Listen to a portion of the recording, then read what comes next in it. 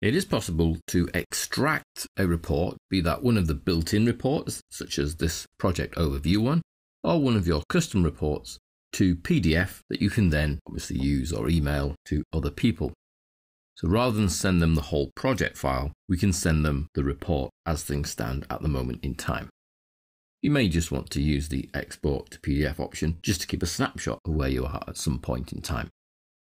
So if I want to take the project overview report that I have in front of me, that I access by going to report, dashboards and project overview, I would simply be looking at the report, then go to file, export, create PDF slash XPS document, click the big button, and then give the file a name.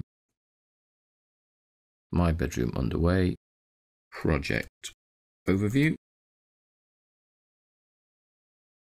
Okay.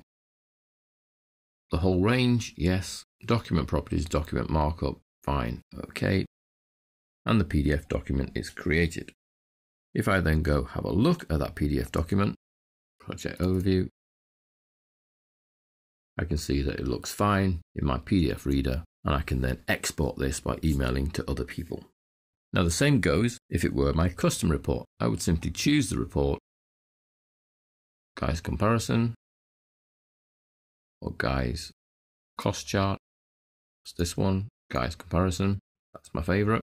So the guy comparison report, file, export, create PDF, give it a name that is sensible. OK. All the default settings. And the PDF gets created so I can then look at that. Guide comparison. And again in my Adobe PDF Reader, I can see that it has actually slightly tweaked into a second page. So I need to look at my settings. But apart from that, it replicates exactly the report.